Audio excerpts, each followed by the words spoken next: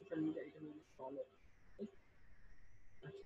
Social media follow এটা social media follow করার জন্য ফলো সোশ্যাল মিডিয়া আইটা হলো সোশ্যাল মিডিয়া শেয়ার হতে পারি না আমি চাই যে আমার সোশ্যাল মিডিয়াগুলোতে ফলো করুক সবাই। ঠিক আছে? আবার আমি চাই একটা অবশ্যই আমার পোস্টের মধ্যে একটা ই থাকল, যেটার কারণে আমি সোশ্যাল মিডিয়াতে করতে পারলাম শেয়ার করতে পারলাম মানে আমার পোস্টগুলো শেয়ার করতে পারল ইভেন পেজ শেয়ার করল অথবা সাইটটা শেয়ার করল ওকে প্রথমত সোশ্যাল মিডিয়া আইকন এটা বলে আমি আমি বলি সোশ্যাল মিডিয়া ফলো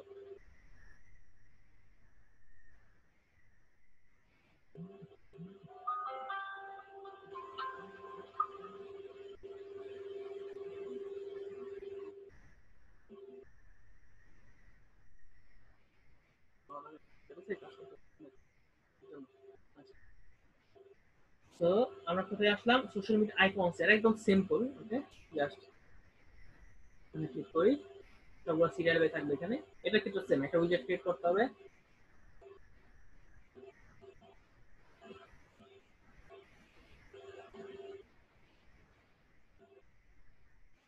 ক্রিয়েট উইজেট ঠিক আছে? এরপর উইজেট নেম দিলাম সোশ্যাল মিডিয়া আমি এখানে এখানে শো করতেছে সাজেশন কারণ এখান থেকে এই এই রাইপোর্ট যারা তাদের চার্জ রাইপোর্ট সে হয়তো ক্লিক করছিল ঠিক আছে?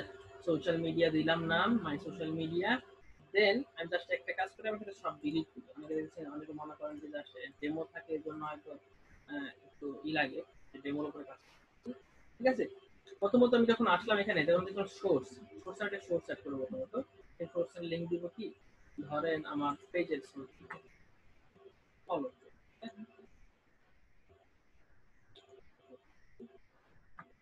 দিলাম না। দেওয়ার সাথে সাথে কিন্তু অটোমেটিক্যালি চুজ করে ফেলছে। এটা ফেসবুক ফেসবুক একটা লোগো চলে আসছে এখানে। এরপরে আমার দরকার ধরেন ফেসবুক শেষ, এরপর ধরেন আমার দরকার টুইটার ঠিক আছে? একটা ডামি লিঙ্ক দিয়ে রাখি এখানে। আপনারা জাস্ট আপনাদের ব্যাংক লিঙ্ক দিয়ে রাখবেন। ঠিক আছে? টুইটার চলে আসছে। ইউআরএল ঠিক থাকলে, এরপর ধরেন দিলাম ইনস্টাগ্রাম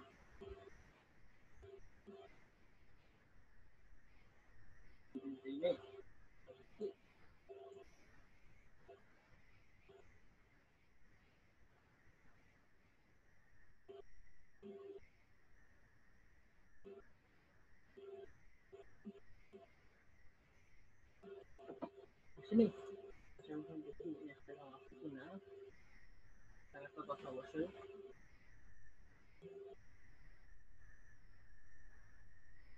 আচ্ছা এখানে আছে অলরেডি ঠিক আছে এই জাস্ট লিঙ্কগুলো পেস্ট করে দিবেন আমি একটা সোশ্যাল মিডিয়া অ্যাড করলাম আপনি বাকি সোশ্যাল মিডিয়া অ্যাড করে দিবেন তারপরে আর কি আছে এখানে ধরেন করলাম গুগল পাস যদি গুগল পাস এখন অ্যাড করবেন না কোনো সময় লিঙ্ক অ্যাড করা যায় একেবারে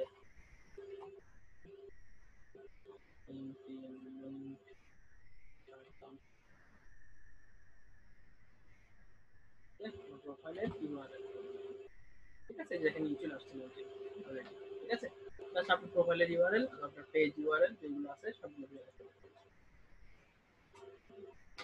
এরপরে আমি আসি, আমি সোর্সগুলো অ্যাড করলাম সর্বপ্রথম ঠিক আছে? এরপর আমার লেআউটের দরকার আছে, আমার একটা লেআউট এখানে আছে অলরেডি লেআউটে আসি। এখন আমার আইকন সাইজটা কতটুকু দরকার? চব্বিশ চব্বিশ দরকার বত্রিশ, চল্লিশ ষাট পর্যন্ত। তোমার সাইট অনুযায়ী। এই ব্লগ ওয়েবসাইট থাকে সেক্ষেত্রে চব্বিশ অথবা বত্রিশ যে কোনো একটা। ব্লগ রিলেটেড থাকে কোর্স রিলেটেড থাকে, সেক্ষেত্রে এই দুটার একটা। আর আমার সব ওয়েবসাইটে কর্পোরেট সাইটের ক্ষেত্রে অনেকে একটু বাড়ে বাড়ে দেয়।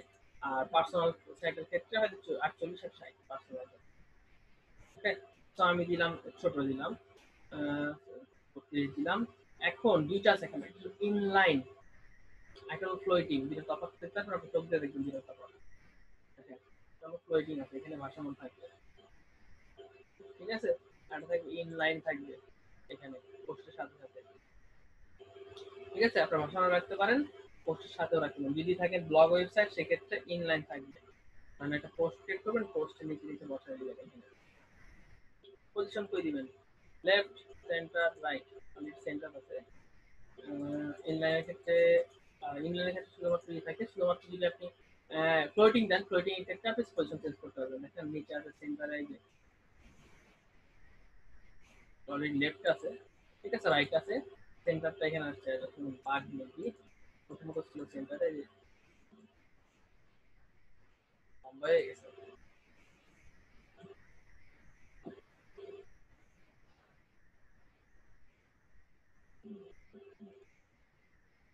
রাইট দিলে রাইটে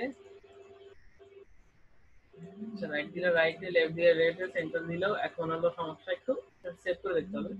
মাঝখানে একটা একটা যে এক, দুই, তিন, চার মাঝখানে থাকবে মানে কি? ভাসমান থাকবে। এখানে। ঠিক আছে? সোশ্যাল মিডিয়া ফলোর ক্ষেত্রে এটা কোনো সময় অ্যাপ্লাই করবেন সেটা অ্যাপ্লাই করবেন সোশ্যাল মিডিয়া শেয়ারের ক্ষেত্রে। যাতে সবসময় থাকে যে পেজে থেকে সেই শেয়ার করতে পারে। বের হয়ে আসি এখান থেকে। বের হয়ে আবার এটার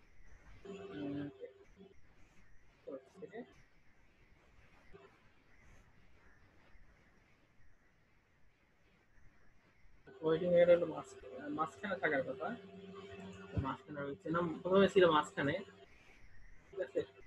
তার সাথে একটু মেসিং করলাম। মেসিং করার পরে চলে আসলো এখানে।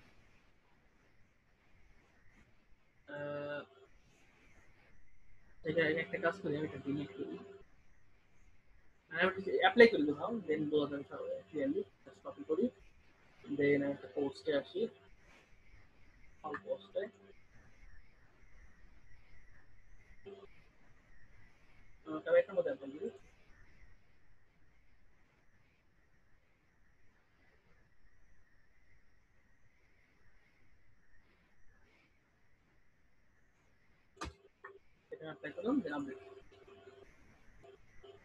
সোশ্যাল মিডিয়া ফলো মানে সোশ্যাল মিডিয়া আইকন এটা মনে করি আচ্ছা একবার পাবলিশ করে দিছে এখানে। আচ্ছা। কি পজিশনে দেওয়া আছে এখন? দেখে আসি। সেটা হলো, এখন দেওয়া আছে মেইল লেফট আছে বাট সেন্টার রাখা okay floating floating centre okay এখন ঠিক আছে হয়তো একটু বাগ ছিল সেট করছি তো আমরা প্রথমে দিলাম প্রথমে দিলাম আমরা ইনলাইন সেন্টার এখন ইনলাইন সেন্টার দিলে কি হবে? ইনলাইন সেন্টার দিলাম যেটা আমার পেজটা একটু একটু এডিট করব। এডিট করে আমি একটু মাঝখানে রাখি।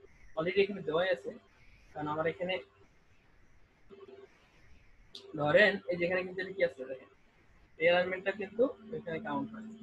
এই অ্যালাইনমেন্টটা আমি মাঝখানে করে দিই।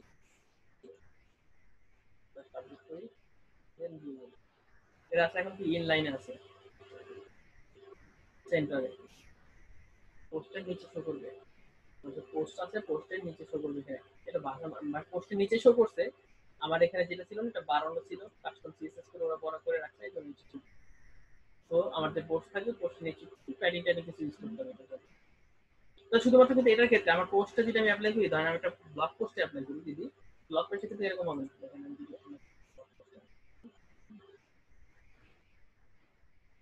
ধরেন টেক্সট লিখি এখানে, আমি ফালাই দিই এখান থেকে। লেট সামথিং টেক্সট নিয়ে আসি।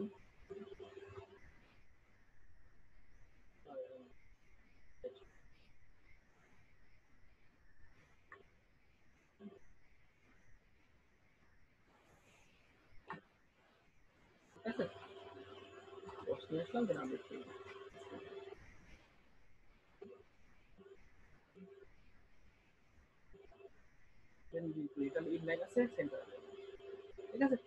না? সোশ্যাল মিডিয়া ফলো এটা কিন্তু ইনলাইন মানে কি? স্ক্রল হইতেছে। না, বিয়ার লাগবে না। বিয়ার লাগবে না।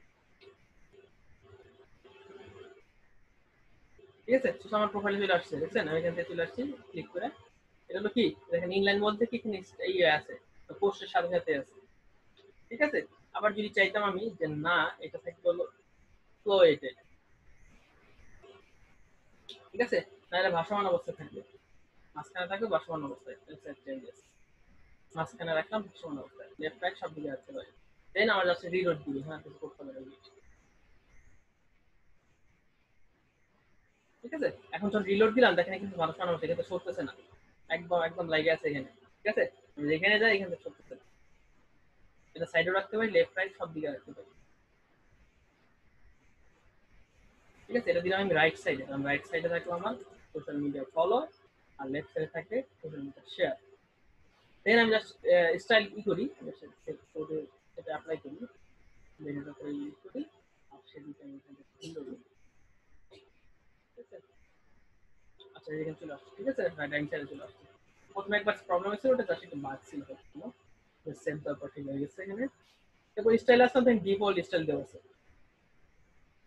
ফ্ল্যাট আছে ক্লাসিক আছে, ঠিক আছে? দেখেন তো এটা স্টাইল একটু বড় করি স্টাইলটা ভালো এখানে।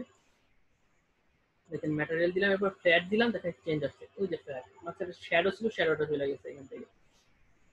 একটু ক্লাসিক আসলাম, দেখেন। ওই আগে যে ফ্ল্যাটে যে একটু কি বলে কি বলে ইনার ইনার গ্লো যেটা ছিল সেটা কিন্তু চলে গেছে। তারপরে দেখেন বর্ডার বর্ডার দিলে কি আচ্ছা বর্ডার দিলে এখন হোয়াইট হয়ে গেছে এখানে। ঠিক আছে? হোয়াইট কালারের বর্ডার হয়ে গেছে এখানে। আচ্ছা স্টাইলগুলো একটু মানে ক্লাসি সিম্বল শুধুমাত্র সিম্বলটা আছে এখানে। দেখা যাইতেছে না যে ম্যাটেরিয়াল দিলে ক্লিয়ার দেখা যাচ্ছে। এবার সব কালারসে ওখানে কিন্তু ডিফল্ট কালার দেওয়া আছে। এটা হলো ডিফল্ট কালার যেটা দিয়ে রাখি, তো সব ডিফল্ট সব ডিফল্ট এখন সব ডিফল্ট যেটা ফেসবুকের মেন আইকন কিন্তু ডিফল্ট ভাবে কি? মেন আইকন কিন্তু কি?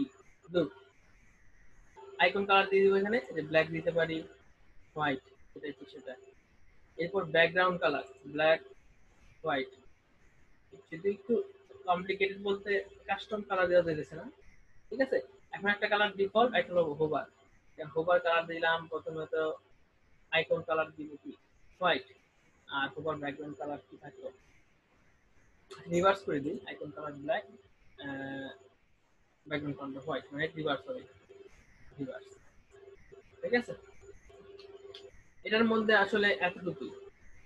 আর এখানে জাস্ট একটা চেঞ্জ আছে সেটা হলো রাউন্ডেড করতে পারেন আর স্কোয়ার এতটুকু করা যাবে রাখলাম লেআউট থেকে জাস্ট করে রাখলাম দেন সেভ এতটুকু ম্যাক্স চেঞ্জেস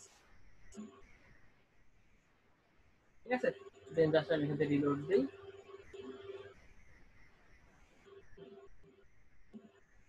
ঠিক আছে? এটা মোটামুটি সুন্দর আছে, আমার এটা মিল মিল মিল ঠিক আছে এখানে? সো এটা আমার ছিল সোশ্যাল মিডিয়া ফলো এরপর আমি কাজ করব হলো, পরবর্তীটায় আসি। ঠিক আছে?